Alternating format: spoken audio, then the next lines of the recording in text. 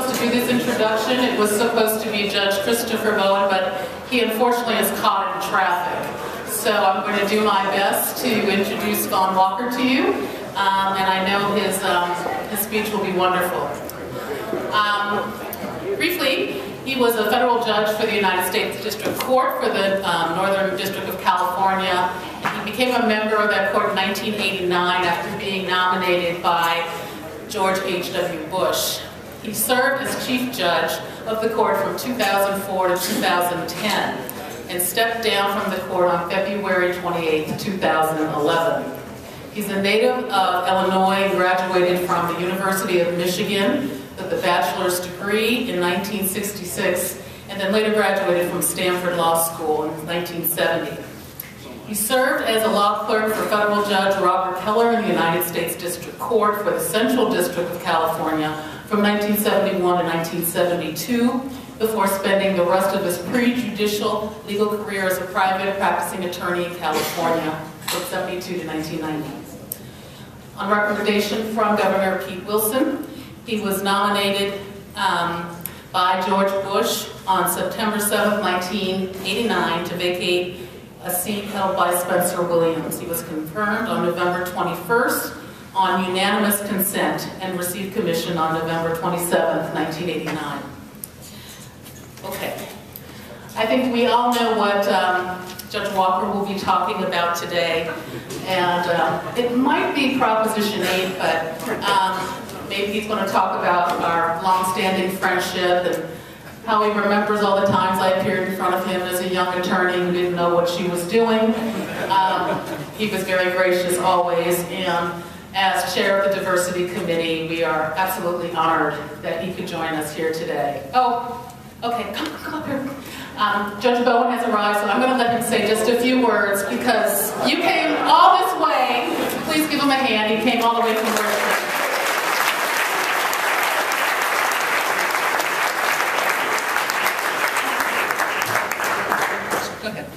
So the burning question of the hour is, can a retired uh, federal judge still impose sanctions for being late?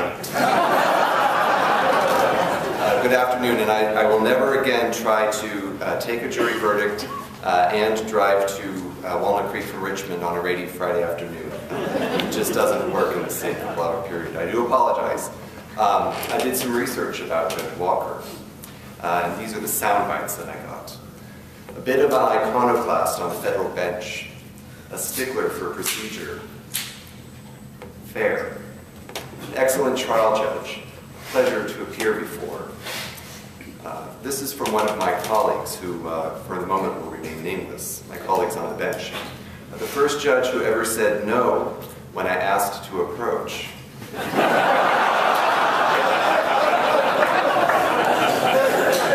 The same judge uh, said of Judge Walker, quite a gentleman, polite. Uh, the jury really liked him. Another colleague uh, who was a securities litigator um, was absolutely thrilled because apparently Judge Walker granted an injunction against an insider trader. Uh, but this judge also noted uh, that Judge Walker um, was a stickler for procedure and took copious notes on every uh, procedural error or um, misstep you might have taken. And if you were not prepared, you had better be prepared uh, to respond to Judge Walker's inquiry about those matters. Judge Walker uh, attended the University of Michigan at Ann Arbor as an undergraduate and graduated with distinction and high honors. He was a Woodrow Wilson Fellow at the University of California at Berkeley, received his law degree from Stanford. He clerked for the Honorable uh, Judge Robert J. Kelleher of the United States District Court for the Central District of California, Los Angeles. Uh, for many years, uh, Judge Walker was an associate and then partner at Pillsbury, Madison, and Sutro in San Francisco. He was a distinguished litigator who was lead counsel for numerous cases that uh, resulted in published decisions, both federal and state. Judge Walker was on the uh, uh, District Court for the Northern District of California from 1990 through 2011. He was Chief uh, Judge of the district from 2004 through 2010. Uh, since his retirement, no grass has grown under his feet. He has uh, lectured at Stanford and at uh, Berkeley School of Law. uh, and he's currently an attorney in private practice with the law office of Vaughn R. Walker. Uh, he has received numerous awards and honors, including the Outstanding Jurist Award from the World Computer Law Congress, and he has been a distinguished guest lecturer on numerous occasions. His decisions uh, as a federal judge ran the full gamut of just about every uh, area of law that you could imagine. Civil liberties, national security, technology, antitrust, securities, class actions. Judge Walker uh, presided over a, a little-known case uh, called Perry versus Schwarzenegger, which was decided in 2010. Received almost no coverage in the press, and I'm sure none of you has ever heard of it. Uh, and in that case, of course, the state prohibition, uh, constitutional prohibition against the recognition of same-sex marriage uh, was found to be unconstitutional. Judge Walker will be speaking to you this afternoon about the dynamics of a high-profile case. On behalf of the Contra Costa Costa County Bar Association, the Diversity Section, the Diversity Committee, it is my great pleasure to introduce to you Judge Vaughn Walker.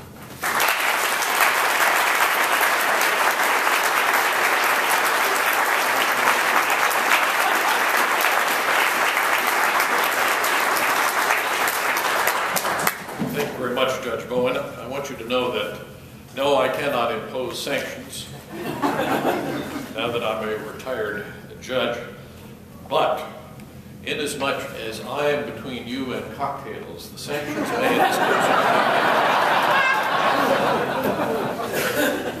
And I hope that I bear that in mind, that circumstance of where I stand in all of this. Uh, Judge Bowen's articulation of some of the things that I've done on the bench before. Uh, he didn't specifically mention complex litigation. It is true that over the years I handled a number of cases, quite a number of cases that were complex. We have a random assignment system in the Northern District of California, as is true in the federal district courts around the country. So you would think that complex cases would not gravitate toward one judge as opposed to the others. But I found a way to overcome that.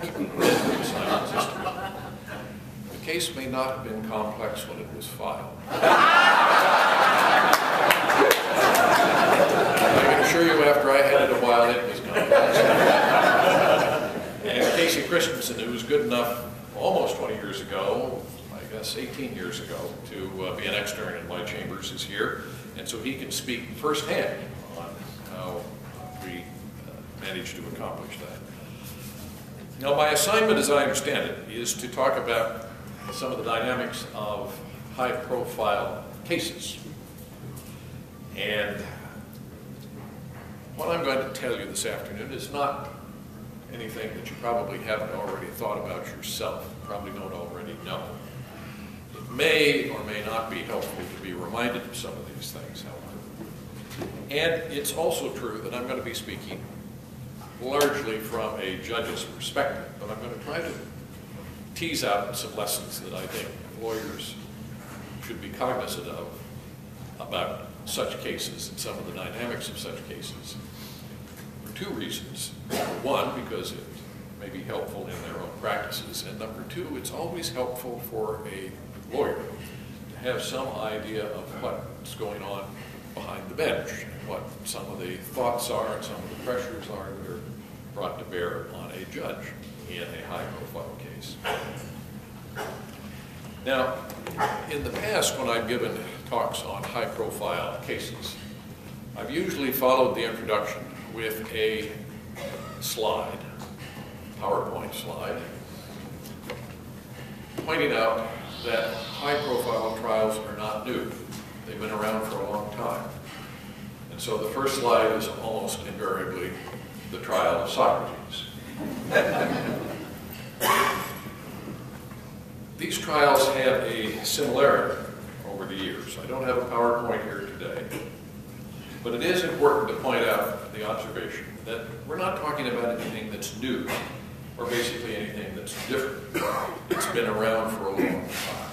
There are certain cases for particular reasons which pique the public's interest or which generate the public's interest.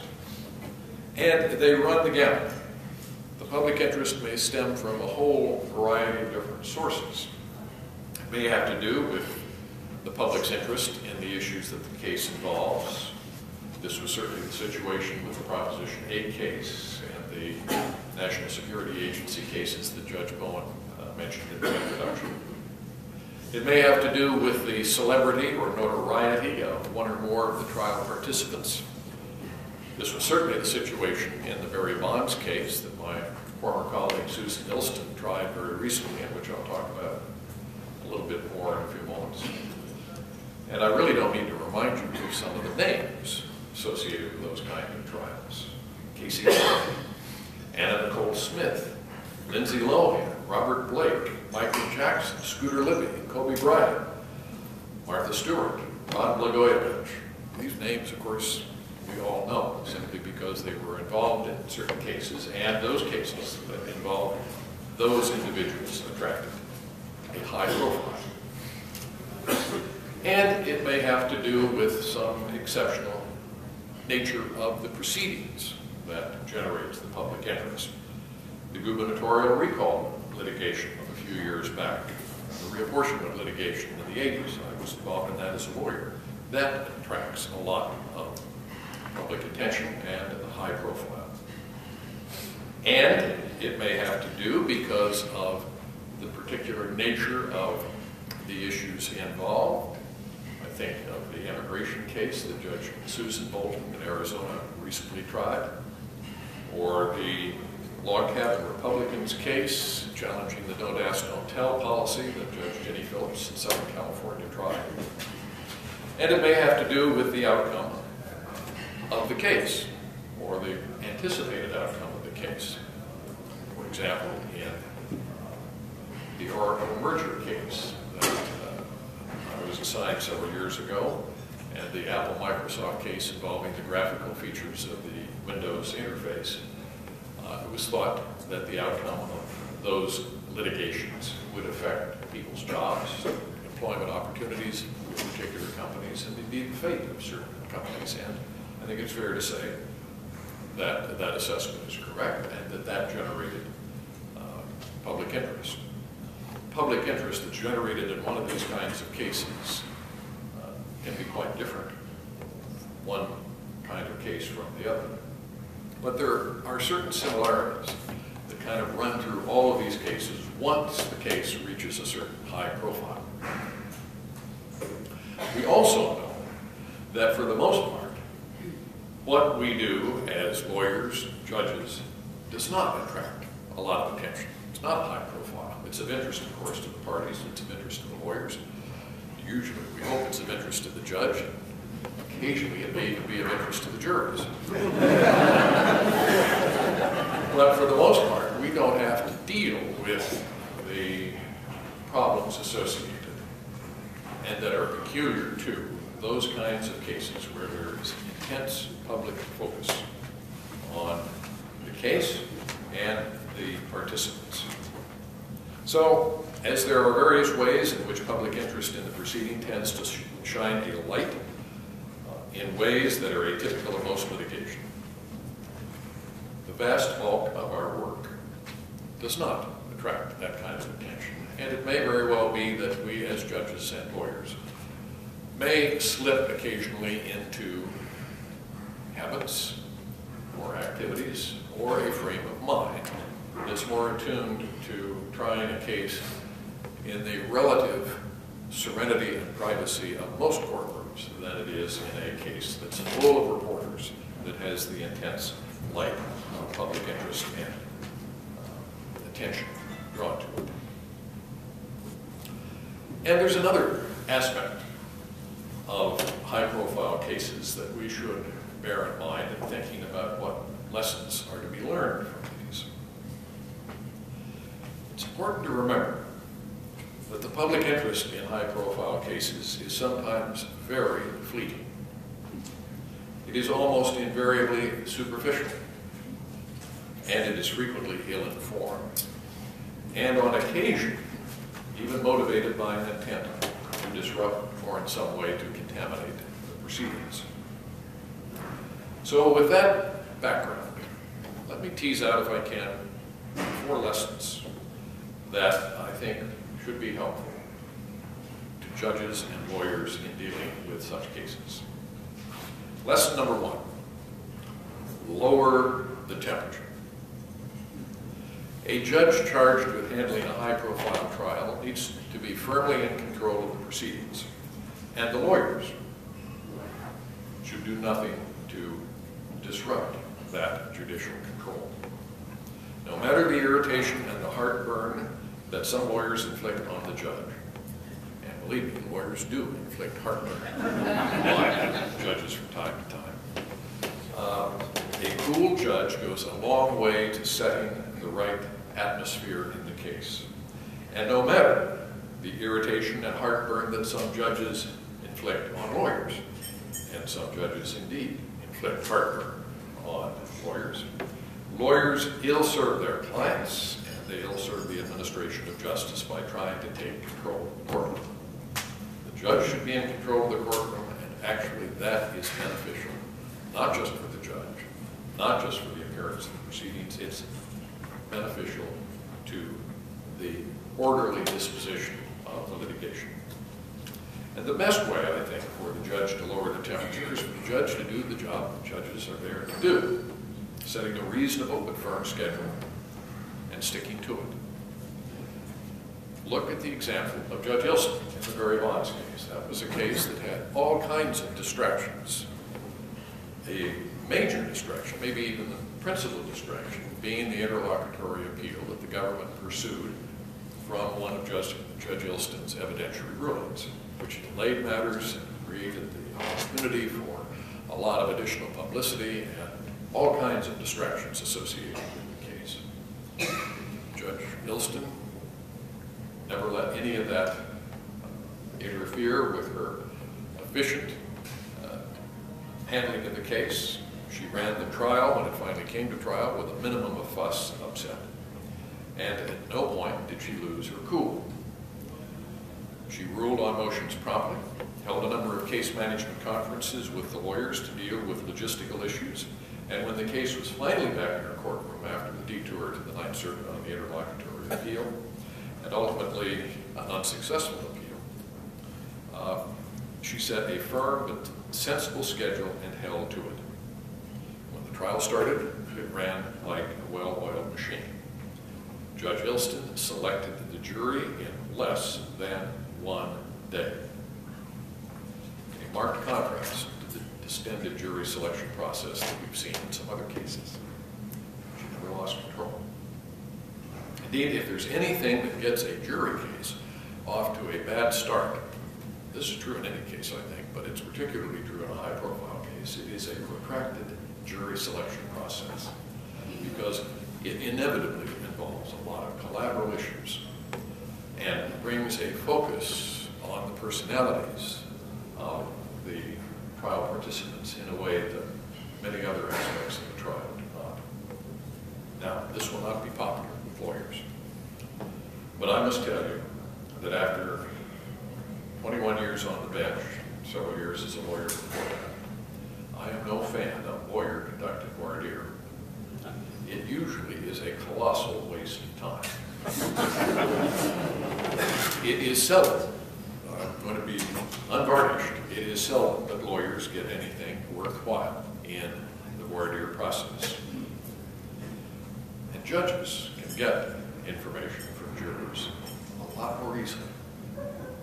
So if there is some line of inquiry that you really do feel needs to be pursued to test a particular juror, to test that juror's preconceived ideas about the case or issues pertaining to it, if at all possible, see if you can get the judge to ask these questions. And if the judge does permit attorney voir dire, use it sparingly. Sparingly. And use it, and this is of course not limited to high-profile cases, but use open-ended questions with the members of the panel. Tell us, Mr. Jones, about leaving your employment at XYZ Company to take a job elsewhere. Let the, let the juror, the prospective juror, tell you the story. Don't try to frame the juror's answer. Yes, Miss Smith, what would you like to see in a juror in a case where you were a party? Let the juror talk, and give you the information. Friendly, non-confrontational. That's, that's, I think, good advice in any case, and particularly in a case where your treatment of the jury is going to be front and center, as it is in a high-profile case. Now, what to do when the judge doesn't do what you think is necessary, is not well prepared, and doesn't pursue inquiries that you regard as important identifying whether a juror has some leaning that prejudges the case. Well, as I said, first ask the judge to pursue the question. If the judge doesn't do so, or doesn't do so in a way that you think is appropriate, you do have to make your record. And usually, I think, the situation would be if the voir dire process is still ongoing, if it hasn't completed, if it hasn't finished, judge can be persuaded to ask the question or pursue the inquiry that you feel is, is absolutely necessary. Now, as I said, these are pretty standard things to think about in every case. In a high-profile case, you need to obtain some sense whether the potential juror can stand up to the kind of scrutiny that a high-profile case is likely to uh, generate. That's really the unique issue that confronts jury selection in a high-profile case. As I said, there was really nothing novel about the way that Judge Illston handled Barry Bond's case. There was nothing that she did in that case that shouldn't be done in every case, one way or the other. Prompt rulings, reasonable and firm schedule. Those will do wonders in any case. It's simply much harder to execute these good case management practices in the high-profile case because of the tension, the attention that such a case has. Lawyers and parties often perceive that they have more to lose in a high-profile case. Hence, their incentives to resist the inevitable consequences of firm scheduling are often greater in a high-profile case. And that enhances the importance of good case management in a high-profile case. I'm not sure that is a correct assessment, however, that lawyers have more to lose by resisting the kind of fundamental and good case management practices that Judge Illston had very much on display in the Barry Bonds case. So it is true that much of the responsibility for managing a high-profile case does fall on the judge's shoulders. But there's a lot that lawyers can do to keep the temperature cool or at least at a low-grade fever. First, lawyers need to know that if the case becomes a fiasco, they will share the blame. And indeed may be the biggest part of the blame. Good manners are important in every case, but manners are on vivid display in the high-profile case. So lawyers' self-interest in an orderly proceeding, if the proceedings go off the rails, no one looks good. Even if you're not the cause of the derailment. Second, lawyers need to recognize the pressures that a judge is under in a high-profile case, and they should avoid anything that is likely to cause the judge to make a mistake that will, in some fashion or other, derail the proceedings. And third, while lawyers too can be under a great deal of pressure on a high-profile case, cooperation with the other side is of even greater importance in a high-profile. I've had lawyers say that they don't want to appear friendly with the adversary in a case where everybody is looking. It seems to me that is exactly the wrong attitude. You do want to look like a professional who is cooperative with the other side in a case where everybody is watching. Not that you don't want to in every case, but it's of particular importance, I think, in a high-profile case. Well, those are just good practices generally, but they're much more important in a high-profile case because of the stakes. Lesson number two, open the courtroom. I doubt that if we went around the room, many of you would disagree with what I've said lesson number one. You may very well disagree with a lot of this. Maybe the attorney voir dire I've got some disagreement on, but probably, or at least many will disagree with this. By definition, a high-profile trial is a proceeding of public interest. So the job of handling a high-profile case involves handling that public interest. Chief Justice Burger wrote some years ago that people in an open society do not demand infallibility in their institutions, but it is difficult for them to seek to accept what they are prohibited from observing. Now, the problem in the federal trial courts, this is not as much of a problem in the state courts, problem in the federal courts, the United States Supreme Court, and most of the courts of appeal, uh, unfortunately in the Ninth Circuit, is that the public is, a, is as a practical matter prohibited from viewing the proceedings. Rules and practices for closing broadcast and video or internet posting of court proceedings is tantamount to a prohibition of public access. How many people can actually go down to the courthouse and sit hour after hour in the entire proceedings? Very few. So they rely upon second, third, fourth hand accounts. Now, I realize that courtroom cameras have acquired a bad name among some, and perhaps many in our profession. This is unfortunate, and I think an ill-deserved disrepute that has carried over to the federal courts, and perhaps even more unfortunately to the Supreme Court of the United States itself. But there is light, or at least a tube of some kind, at the end of the tunnel. And the Ninth Circuit is ahead of the other circuits in allowing access by the broadcast media. In fact, the Ninth Circuit was the first circuit to do so. It was a case in 1991. It was a panel consisting of Clifford Wallace, Thomas Nelson, and Oliver Kelch. They allowed C-SPAN and three television stations to broadcast an appellate oral argument. None of those three judges, those of you who know them, would identify any of them as radicals in anything, and certainly not in terms of judicial management. And in the years since, there have been, in the Ninth Circuit, 260 Ninth Circuit appellate arguments broadcast, including the one that the Supreme Court just decided uh, yesterday that I understand Justice spoke about, the argument Proposition 8 case that was on the certified question from the Ninth Circuit. In 2007, the Ninth Circuit Judicial Conference authorized broadcast of federal trial court proceedings. That was a resolution that was overwhelmingly adopted on the vote of both the judges and the lawyers at that Ninth Circuit Judicial Conference. It was not immediately implemented because at the time, the Administrative Office of the Courts, or at least the Case Administration Committee of the Judicial Conference of the United States, was looking into a nationwide pilot program. And the Ninth Circuit, I think wisely decided they didn't want to get too far out in front of the nationwide program. So they did not do anything to implement, or did very little to implement the program uh, for some period of time.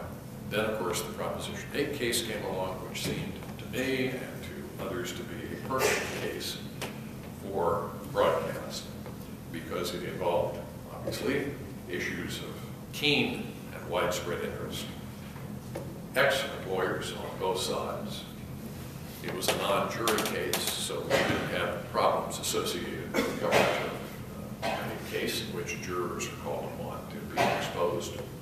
It seemed to have all the perfect ingredients for broadcast. Well, I won't go into, of course, all the circumstances, but you all know that through a series of rather unusual circumstances, the United States Supreme Court intervened not to prohibit broadcast, but to prohibit transmission of the proceedings outside the courthouse. That was the only issue that was before the Supreme. And interestingly enough, the Supreme Court acknowledged in its opinion that which had been known and recognized and never really teased out as clearly as it was in this case, that the Supreme Court itself, either directly or indirectly through the Judicial Conference, does not have the authority to prohibit broadcast of trial proceedings or any other proceedings in the lower federal courts. That expression, lower federal courts, is one that I've never liked particularly, because it includes everything under the Supreme Court of the United States. But putting that aside, uh, the Supreme Court did recognize that they did not have the authority to do so. In the particular Prop 8 case, they hung their hat on what they considered to be the defects in the adoption of a local rule that implemented program, something that now the Northern District of California has taken care of with the adoption of what is now Local Rule 77-3. But the good news, or from my point of view, the good news that's come out of this is that that experience helped to revive interest in Congress in the subject of cameras in the courtroom. And in September, the Judicial Conference of the United States approved a, this was September of last year, uh, in September of last year, they approved a three-year pilot program for broadcast of civil trials in selected districts. The guidelines are set out in, uh, in uh, regulations that have been issued by the Judicial Conference. There are many limitations with this pilot project, and it's a tentative start, but it is a movement in the right direction. So I think we are at least moving haltingly toward opening these proceedings. Now, you might wonder why I should think that opening these proceedings, broadcasting them, making them more available to people in a high-profile case would be helpful.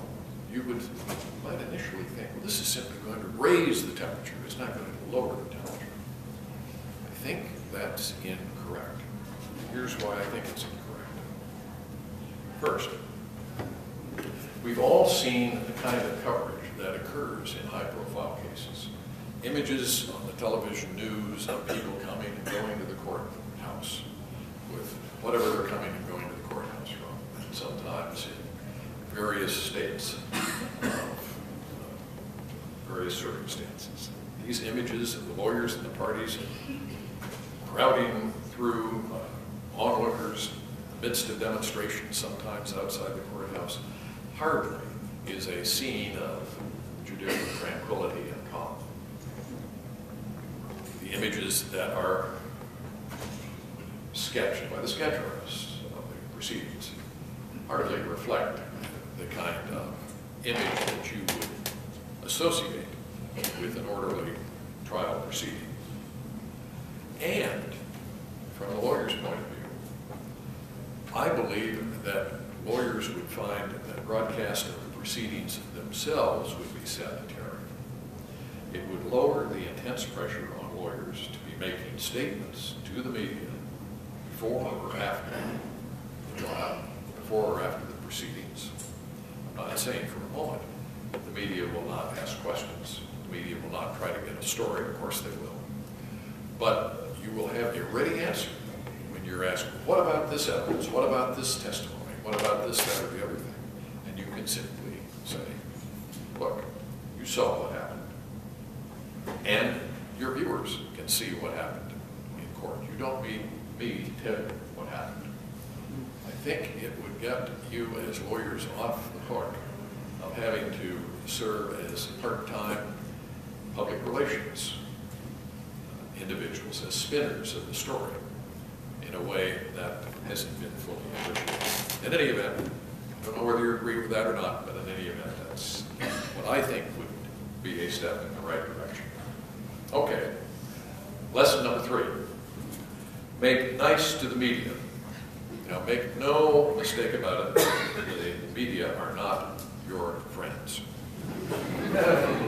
Especially in a high-profile case. But they're not exactly your enemy either. So don't treat them as such. The media, of course, are looking for the man-dog, man uh, lights dog story, of course. And it's generally easy, much easier for the judge to decline talking to the media or dealing with the media in a high-profile case because the media folks almost invariably understand the limitations on what a judge can say or do with respect to a case that uh, the judge is presiding over. That is not anything that lawyers can rely upon, of course. A judge in a high-profile case can do a lot of things to help both himself or herself and the lawyers maintain a cordial relationship with the media and get a reasonably accurate story of the proceedings out. First, and if the judge doesn't do these things on himself, uh, or herself's own initiative, there's no reason why the lawyers cannot suggest these things. Probably such suggestions would be appreciated by most judges. First, appoint someone on the court staff to interface with the media. Best, of course, is somebody who's unflappable, somebody who understands something about the news business.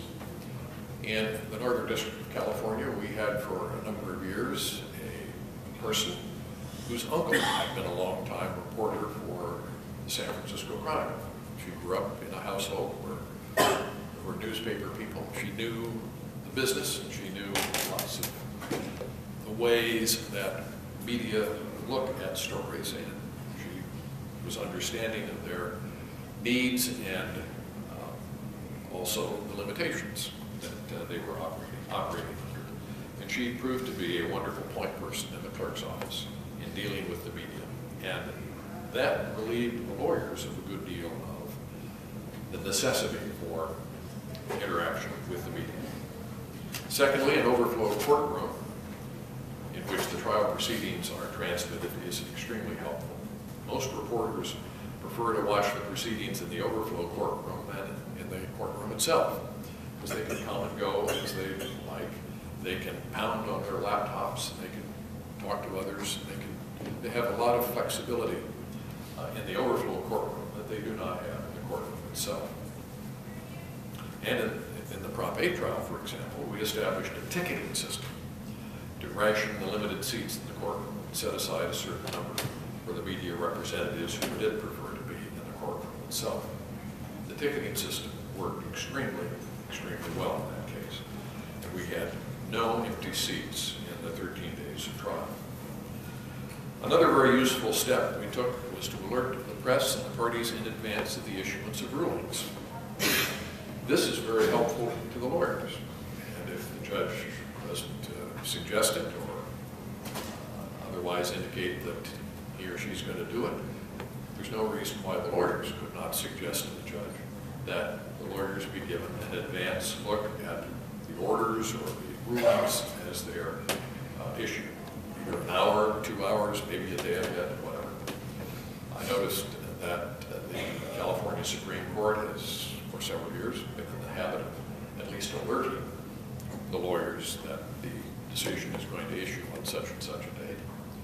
We went even further in only the Prop 8 case, but other cases, and that is giving the lawyers copies of the orders in advance of the actual filing of the orders. Sometimes a matter of hours, sometimes a matter of 24 hours. The advantage of that is, of course, that the lawyers have the order, they have what it is that they're going to be asked about.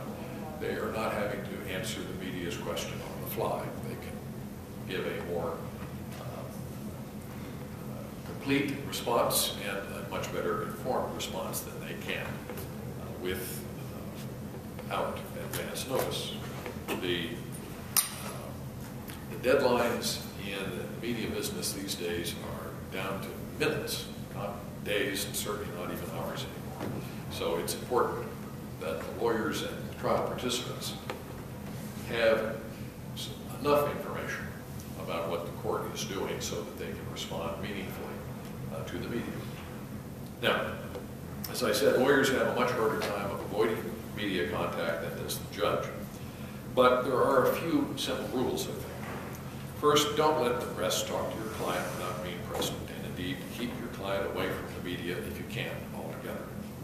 Second, try to know the reporter who you're talking to. Will the reporter abide by the rule that what's off the record stays off the record? Or will the reporter not do so? Third, remember that the judge will likely read or see what you say about the case to the media, and the same goes for the jury, no matter how many instructions are given to the jury about not reading newspaper reports or listening to radio or television, the chances are what appears in the media is going to be seen by the judge, is going to be seen by the jury. You simply have to recognize that. And fourth, if you do talk to the media, make sure your comments are consistent with the theme of your case and the evidence of the trial. Lesson number four. Rise above. The judge handling the high-profile case will try not to get in the way of the case or the media story about the case. This means, in my view, that what's going on in the judge's life outside the courtroom and in other cases, the duties the judge is fulfilling should stay out of the case at hand.